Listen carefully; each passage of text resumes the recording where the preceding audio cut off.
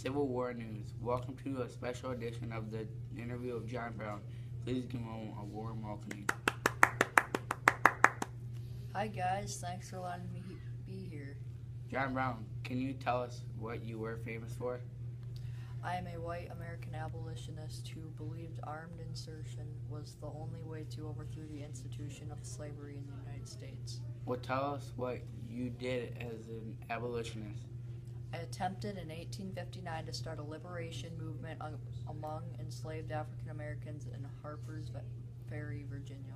What else could you tell us about?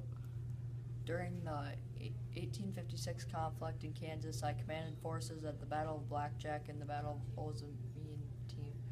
My supporters killed five slavery supporters at Potawatomi.